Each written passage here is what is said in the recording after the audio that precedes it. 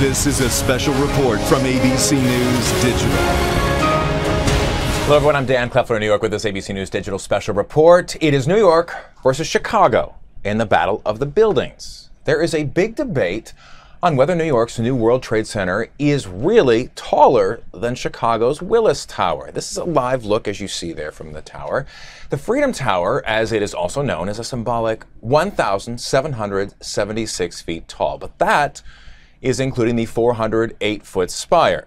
And some architects said that that shouldn't count as part of the building, which would mean that the World Trade Center would be 83 feet shorter than Chicago's Willis Tower. So, to settle that fight, an expert committee of architects took the matter into their own hands.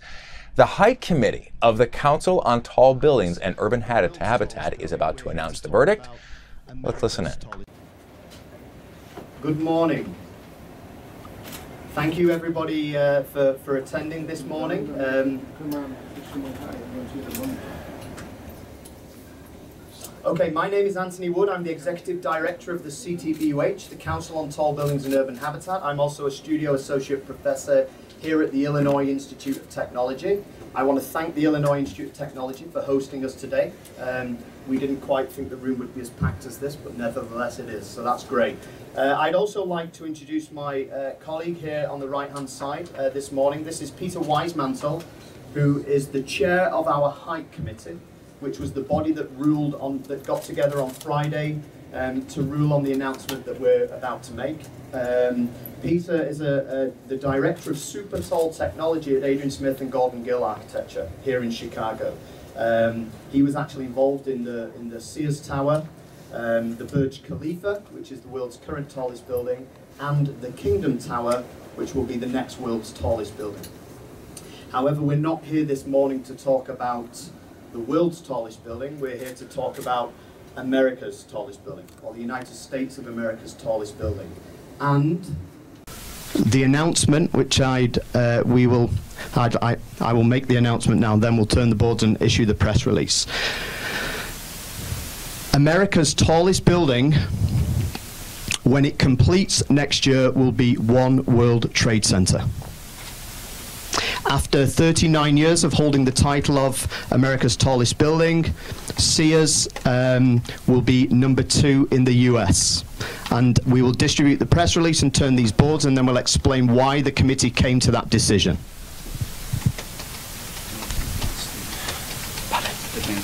Can you turn those?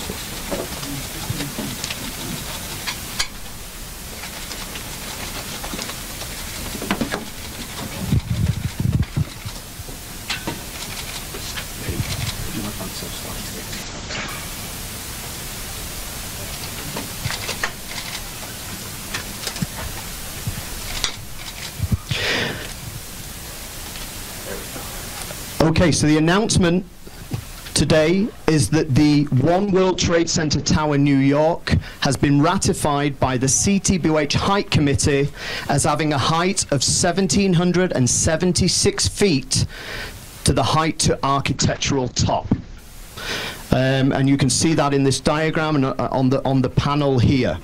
Um, let me explain the process that led to that decision. The Council on Tall Buildings and Urban Habitat is the official arbiter of height and measuring tall buildings. Um, and on Friday, its height committee met here in Chicago. It is a, a group of 25 individuals um, uh, representing approximately 13 countries around the world. People from the architecture profession, engineers, construction professionals, owner developers of tall buildings. And they met to uh, spend an afternoon examining and looking at the facts with respect to One World Trade Center. We received a presentation from the design team in New York, including David Childs, who is the design architect of One World Trade Center, and also a representative of the Port Authority, which is the owner developer behind the building. The issues the issues that were discussed on Friday were basically twofold. The first issue was is the topmost structure on the One World Trade Center a spire or an antennae? And this is an important, uh, that, that was an important aspect because in our criteria, spires count in the height of buildings and antennae do not count. And the issue was that earlier this year, actually last year, the, the architectural cladding which was originally envisaged to um, to crown that that that topmost structure um, was removed from the design and therefore there was confusion, uh, I think, generally as to whether that would be a, uh, a, a, spire or an antennae. The, the Height Committee looked at it in detail and they ruled virtually unanimously that that was indeed a spire and not an antennae. And the reason for this, there's a number of reasons, but the key word here, the key word is permanence. The decision that the um, the decision that antennae do not count in the height of a building is because the, the antennae are not permanent to the building design. If we think about the Sears, the Willis Sears Tower here in Chicago, when that building was originally finished, there were no antennae on top. The antennae then came on the building. Um, depending on the prevalent technologies, the antennae may get shorter or higher. Um, and indeed, we saw that. The, the, antennae got about 16 feet taller, I think, in the year 2000. So antennae do not count in the height of a, of a tall building because they are functional technical equipment which is put on top. Um, the committee were quite clear that that was not the case on One World Trade Center. This is a permanent feature and we can we know that it's a permanent feature because of the, the, the sacrosanct aspect of the 1776 height. In other words, that crowning structure is never to be added to, never to be taken away. And further to that, it has been it's a very symbolic height, not only because of the 1776, but because that height is marked with the um, with the incorporation of a lighthouse type beacon within the crowning structure at that height. And this was quite influential on the committee. It's not only the fact that it's 1776 and the, the topmost structure would not be um, altered in any way in the future, but that this was marked with a very important architectural element. A very important architectural and, and, and symbolic element, which is the beacon, which will shine out every night, as well as the, the, the mast being, uh, the, the, the, spire being lit up um, you know, uh, uh, on, on special occasions and uh, nighttime, things like that. So there you can see on the left-hand side, 1776 height to architectural top. Here we see a close-up view of the of the spire. Next, next slide. Here we see a view in the factory of this beacon element which is on top of the spire as we see it here. And on the right hand side, a close up of the, of the spire being assembled. And even though the cladding was taken off this spire, you can still see that it is an architectural element. Subjectively, you might not like it.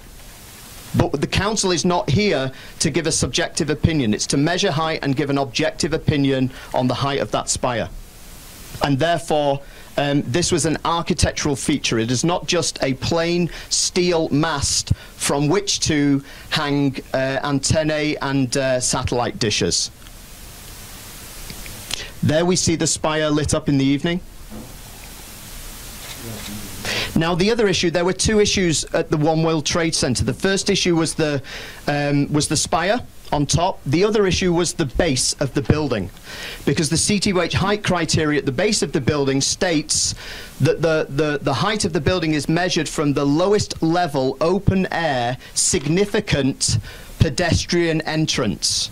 And there was some confusion with the One World Trade Center because there are three entrances on the north, east, and west side, all at the same level, accessed off the Memorial Plaza and that's where the 1776 height was measured from. But there is a lower entrance, which you can see to the north there, off Vesey Street, which is five feet and eight inches lower than the main entrance. And there was debate as to whether there should indeed be a five feet and eight inches added to the height. Um, and the committee um, discussed this at some length and decided that according to the CTBUH height criteria, that entrance is not classed as significant. And the reason is because the whole of that floor that you see, the whole of that floor is at one level, and I believe it's projected that something like 99% of people will be entering the building via those three entrances off the Memorial Plaza. Not from Vesey Street, which you can see you come through doors and then go, go up a series of steps to access the lobby floor. So there you see an image of, um, of the main entry from Memorial Plaza. So I know many of you are, are here today because we're in Chicago, interested in how this impacts uh, the Willis or Sears Tower. Um, this is a diagram of the projected tallest 10 buildings in the world. Now, there's one very, very important thing to point out here. One World Trade Center is not the tallest building in the US and will not be until it is completed. Another aspect of our criteria is the building has to be complete and occupied before it is classed as a building. So we are not saying today that One World Trade Center is the tallest building in the US. We are saying we are projecting it to be the tallest building in the US when it completes early next, which is projected for early next year. What you see in this diagram here is the tallest 10 buildings in the world as we anticipate it when One World Trade Center is complete. And you will see that One World Trade Center moves into number three position in, in, on that list. The tallest building in the world is Burj Khalifa, complete and occupied. S number two is Mecca Clock Tower in Saudi Arabia, complete and occupied. Number three will be One World Trade Center. You will see that S Willis Sears Tower is in number 10th position in terms of its relative weighting in the world. And if you look at that diagram, you will see that the reason that the, the topmost structure on the Willis Tower does not count in the height is because those are considered antennae and not spires. Of the Willis Tower, and you can see those antennae, and you can see the height of the Willis Tower, um, which is which is uh, 1,451 feet to the to the roof level. And there was there's another important point here which I'd like to point out. If you look at this diagram here, if you look at this image and you see the height of that mast, uh, the height of that spire, I think it's important to understand that this, the height of this building, the height of the roof of One World Trade Center was set symbolically at the height of the old World Trade Center building. So, you know, this was part of the discussion on Friday. This was not, this was not really an attempt, we believe, by, by the design team to build a shorter building and then try and get greater height by building a big spire on top. There's a lot of symbolism in this design, and the symbolism is the height of the roof is the old height of the World Trade Center, and then the spire crowns to that 1776 feet high. And I think that's important because there's been a lot of uh, uh, discussion in the press about this building trying to achieve a greater height than, than just the roof level. And, and, and, a final couple of slides is just to point out why the council in the mid-90s made the decision between spires and antennae, made that distinction. If we count antennae in the height of the building as functional technical equipment, then where do we stop? Do we start to count water towers? Do we count signage on the top of the building? There is a beautiful view outside the windows there to Chicago, and you will see the Aon building, which two years ago put a 20 foot anemometer on top of the building. Did that mean that the building got 20 feet taller? It's back to this question of permanence. So that was the decision that was made in the, in the, in the 1990s. And, and, and, and also, as we're gathered here, I'd just like to state for the record that when, when the then Sears building lost the title of the world's tallest to Petronas Towers in the mid-1990s, what was not widely reported was that the Sears Tower was going to lose its title that day, whichever way the council ruled. If it did not count the antennae, then, then Petronas Towers in Kuala Lumpur would be higher.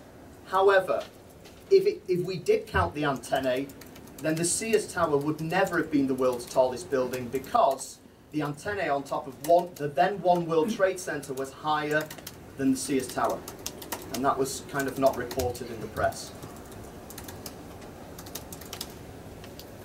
Flagpoles, wind turbines, all these topmost structures which are considered uh, technical functional equipment. And um, I'm not going to go through the, the height criteria in detail unless you have any detailed questions on it, but we've issued a press release announcing this today, and at the back of the press release, our height criteria, including many, many footnotes, is shown in detail. So I think this is the point where myself and Peter will take any questions that you have. What was the uh, breakdown of the committee as far as uh, geographic region? Well, it was- it was very much a worldwide committee, I'm sorry, it was very much a worldwide committee represented not only geographically, but also within the disciplines that, that build, own, and operate, uh, and design, uh, tall buildings. And there, there's a, there's a detailed list that An- Antony will share with you. 13 countries. 22 companies, 19 cities, 30. 22 companies, 13 countries, 19 cities represented on the 25 uh, member committee. So no one bias towards any city. Are the committee members listed in here or not? Uh, the na, the names are not listed, but, but they're actually on the website. It's Their very- affiliation? Yeah, the affiliations and, and also, and it also is not only geographically we're re- well represented, but also, as I mentioned, disciplines. Six architects, uh, five structural engineers, five contractors, suppliers, three academics, a couple of facade consultants, uh, MEP, fire engineer, and uh, miscellaneous consultants made up the other four. Uh, Given that 1776 has become a kind of patriotic number, did the council feel any pressure or was any pressure put on it from politicians, others, to rule in favor of one WTC? No, absolutely not. Although we were a little, little worried about Antony with his British background. I mean, I'd like to answer that as well, Blair, because you and I spoke about it several times in advance of the meeting on Friday. Um, I'd like to make clear that the committee was well aware of the gravity of this decision. Well aware of the gravity of this decision. They knew exactly what was at stake and the symbolism and the importance of One World Trade Center, and also the impact here on, on, on Chicago. However, to answer your question, absolutely not. Ultimately, this was 25 rational people. We're talking architects and engineers. We're talking the people who are designing and building these buildings all around the world, who got together, reviewed the facts, and made a, a, a you know a, a, a non-pressured or non-emotional decision. It might have been non-pressured and non-emotional, but was it spirited? Were there lots of disagreements? Were there arguments? How would you describe it? Oh, absolutely, absolutely. There were, the, yeah. It was in the end we reached a consensus. It was it was close to unanimous. It was not 100% unanimous, but it was close to unanimous. And um, so the debate, and this was a five-hour meeting. So the debate was uh, was was pretty heated. And How uh, how many dissenting votes were there? uh, well, in the, Tec- Technically none. There was, there was, there was, there was one abstention. That was it. Could you could you continue describing the debate? You said it was heated. Well, I think that's, I would, I would, I would not described it as heated. I, you know, this is a group of professionals that have been aware of this issue coming up. So I think there was obviously a lot of, a lot of uh, emotion, and there was a lot of, I think there was actually, I'm sorry, a lot of uh, very thoughtful um, uh, uh, discussion. Um, it, it, it, I wouldn't call it heated at all. The, it, and it really was, um, uh, we basically spent the afternoon, first of all, talking about the height criteria, because that's really, remember the function of this, of the CTBUH, we're, we're basically keeping a list. I mean, we don't invest, I mean, people invest a lot into who's number one in that, but really we're a bunch of uh, high-rise geeks, engineers and architects that are just keeping a list of buildings that was originally started, you know, 45 years ago. Um, and so the criteria is really, really more of what we focus on, uh, because buildings have changed. The way we design buildings has changed. Back in 1969, when the council started, started, who would have thought you'd have anything but a kind of Miesian flat roofed box? And so, as as times changed, the real function of this uh, committee is to keep up with the times and keep up with the way the design is going. Can I ask, is, in the end, does it really matter for anything more than bragging rights? I mean, is it anecdotally, is, is there an economic shot in the arm for having a, a nation's tallest building or no? Uh, well, I think it's, you know, you, you, people, people uh, look at this, there was, there, they, they, they look at it and, you know, why are you doing, why are you spending that money to, to put that thing up in the air? And, and uh, there was, there was an article, which I'm sure you're all familiar with, that came out a, a few weeks ago, uh, unfortunately before this debate, uh, and it was titled Vanity Heights. Um, these are not vanity heights in my mind, being the guy that designs and has to build these things. I, I, I thought a better title would have, would have been aspirational heights, because these buildings mean something. They do mean something. I mean, I don't want to take away from that. Look at Petronas Towers, what that meant to that emerging, emerging nation. Look at Dubai. Dubai is on the stage now. It's, it's, it's, it's a world stage that that building created. And you know, guess what? It's going to happen again and again. And so I, I really think it's more aspirational, inspirational in a way than, than, than vanity.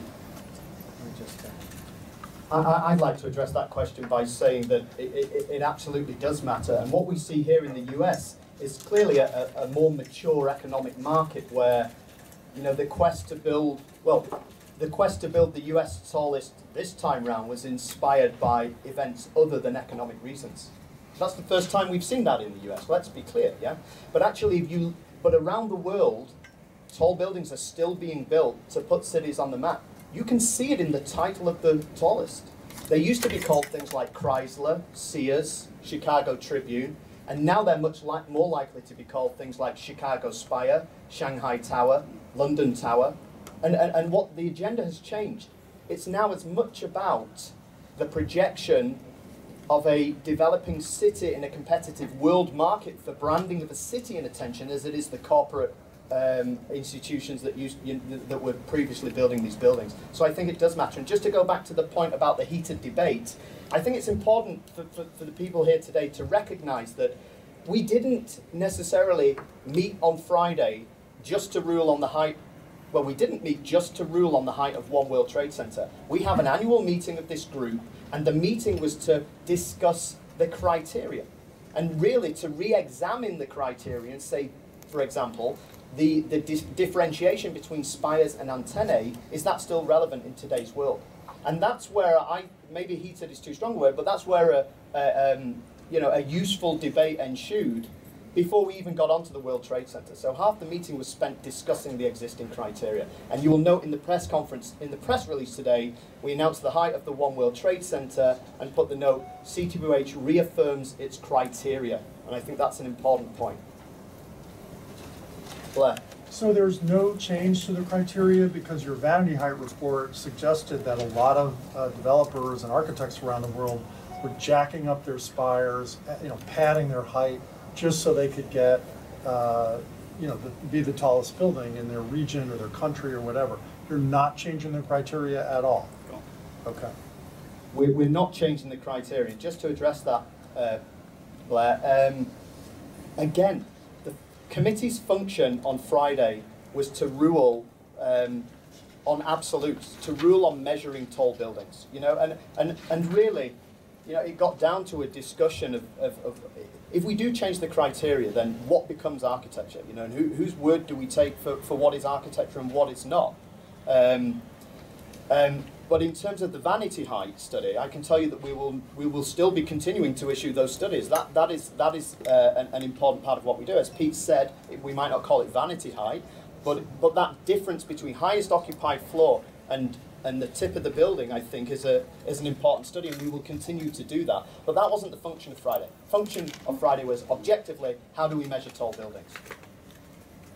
Does the World Trade Center spire have an antenna function? Not currently. However, there are possibly plans to put functional technical equipment off it. Can- Can I mention, one of the questions that I specifically asked when, when SOM was kind enough, oh, I'm sorry, was kind enough to come in and, and talk to us, uh, give their presentation, was how involved was David Childs, this, the, the design partner in charge of that project, with the design of, of what we see there now? Because we do know, everybody knows that he originally wanted to have it clad in an architectural cladding, And of course, like most designers, he'll fight for his, his, his original, his original thoughts.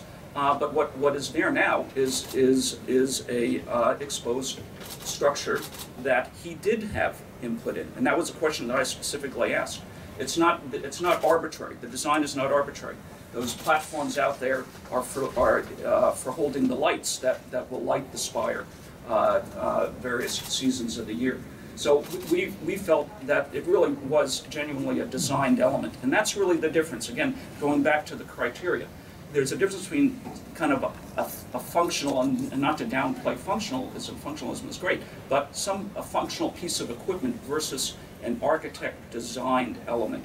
And we felt that this was architecturally designed, and we were convinced in that. You're not SOM, so you may not be in the best position to answer this, but I, I'd like to push back on that just a, a little bit and wonder what they said to you. I mean, those panels that were removed, in one account I read, was some time ago, that they, they were not removed because of, you know, cost or value engineering. They were removed because it would make getting access to antennas impossible.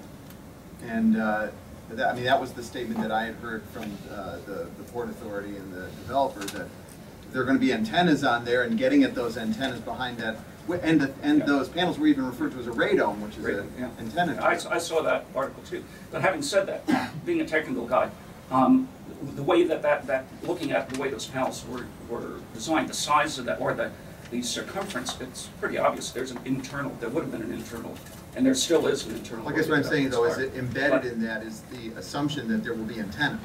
Uh, Well, you, you have to get up to the top to change the light. So one way or another, you have to have, you have to access that, that structure. Um, but you'd have to ask SOM that, that. Peter, did you ask uh, Childs specifically about the quotation that he made in response to the um, decision to uh, not clad the spire? Uh, Let me just read the quotation. "We are disappointed that a decision has been made to remove the sculptural enclosure at the top of One World Trade Center, eliminating this integral part of the building's design and leaving an exposed antenna and equipment is unfortunate."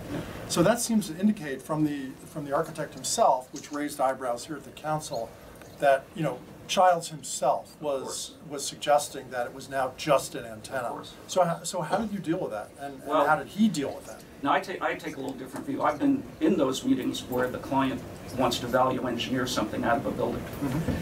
And, and I know what, what my designer, uh, you know, I love him dearly, but I know what he would do to try to maintain something that, that, that he felt, you know, gave the building a little extra, whatever, little glitz or, or part of, part of, part of his initial vision. And so I, I, he, he did a mea culpa. He basically said, basically, we asked him the question, and, and it- there's a quote in your press release, but I can read it here, uh, in what uh, David said. Uh, um, I felt, I felt completely satisfied that this uh, building achieved what we set out to do. Uh, beginning in 2005, we used the council's rules and designed around them. It's an important statement for all of us to make. And, and that's, that's the other thing. The rules, although they didn't bring this up, when they started designing this building, the rules were different, not so much about the spire, but about the base of the building. We, we changed the rules about where, where to measure from uh, because of buildings like Burj Khalifa, which uh, were no longer being built in highly developed urban areas. The original, the original uh, rule for the base of the building was from, from the, uh, uh, the sidewalk outside the main entrance. And that, that works well with the Sears, although Sears does have a slope. Uh, it does, it works well for most buildings, but that didn't work in the new world where you're building in the middle of a desert and there is no context, there is no sidewalk, you're building the sidewalk. So, so again, going back to, to what, what Antony said, that's one of the main reasons that we meet periodically to discuss the criteria, to try to clarify and take into account those kind of uh, uh, elements of, the, of how we're now designing these tall buildings. Well, you said he did a mea culpa. In other words, did he essentially back off from that statement and say, I didn't really mean it, I was just kidding? Uh, he didn't use those words. What words did he use? He, you know, th- th- this was widely reported, Blair, as, as you know. You, you reported on it as well, and it's important because really a large part of the CTBUH criteria is based on the architect saying that's an integral part of the architectural vision. And so, you know, we were concerned with that. Actually, I, I personally asked David that question, and he, he, he handled it very well. He said that that was part of a much longer quote, which often happens, and was so I think he was implying that it was slightly taken out of context. I think he also said that his choice of words might have been better, but but irrespective of whether there'd been a change of heart in the minute or the year since he made that statement, he was very clear on Friday that he, you know, his words were, "I feel completely satisfied that the building now sets out, now achieves what it set out to do, including the spire." So, you know, so uh, that was very clear to us. Will you update this on the website now, or are you, you going to wait until the building's completed? Well, this diagram, the diagram here will be on our website. In fact, it probably is already. We announced it at 10 o'clock. However, it's not the US's tallest building, so you will see that it's the projected tallest 10, and it won't be until it's complete and occupied. So are you gonna, are you gonna request that the World Trade Center take the notation on its website that we are the tallest building in the Western Hemisphere off of its website, or are you gonna let them continue to do that? Well, Blair, I think we will strongly suggest to them that they change the wording to be in line with the criteria. However, you know, there's only a certain amount of power that we have. We can certainly suggest that to them, but uh, you know, if you go to the CN Tower in Toronto, it's still touting itself as the world's tallest building. You know, there's only so much we can do, And it's not even a building. and it's not even a building. What would you say to Chicagoans who are disappointed by today's ruling? What would I say to Chicagoans? I would say, I would ask Chicagoans to um, to ask themselves, how does this affect Chicago? Are any less people going to come to Chicago or even travel and visit the Willis Tower because it no longer holds the title of the U.S. tallest?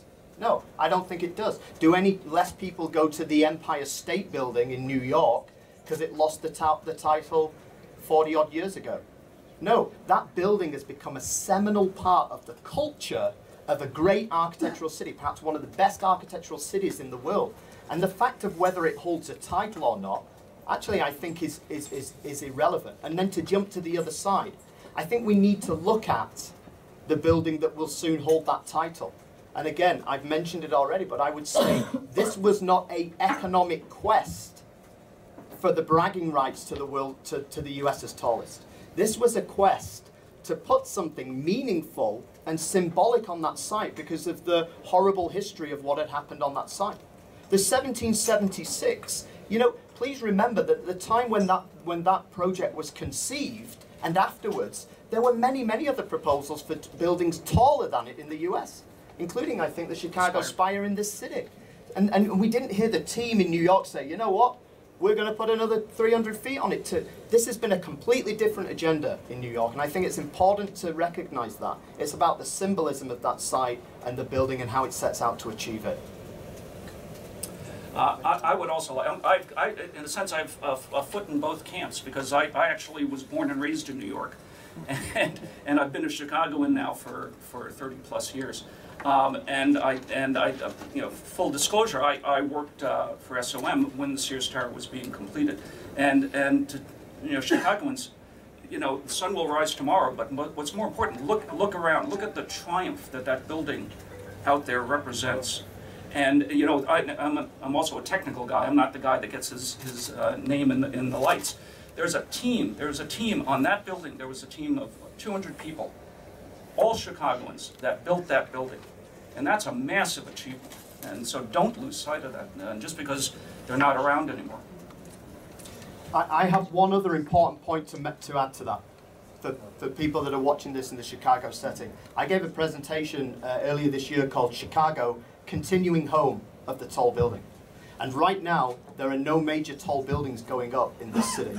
However, I can tell you that there's almost not a significant tall building going up anywhere in the world without the expertise of a Chicago firm.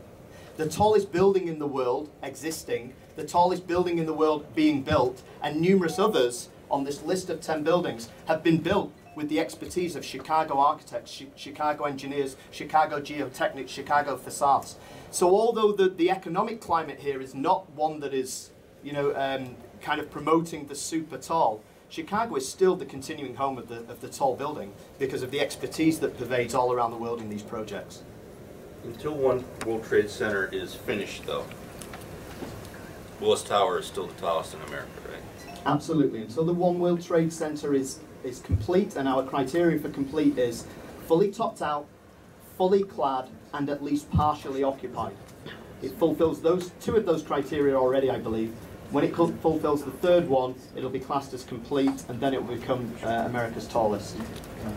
And when is that supposed to be? We believe that's um, early next year. Thank you.